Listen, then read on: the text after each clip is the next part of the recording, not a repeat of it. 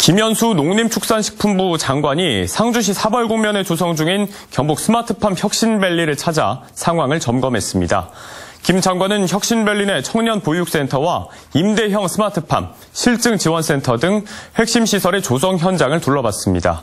경북 스마트팜 혁신밸리는 2018년 농식품부 공모 사업에 선정돼 내년 12월에 준공될 계획인데 본격 가동은 올해 하반기부터 미리 시작될 예정입니다.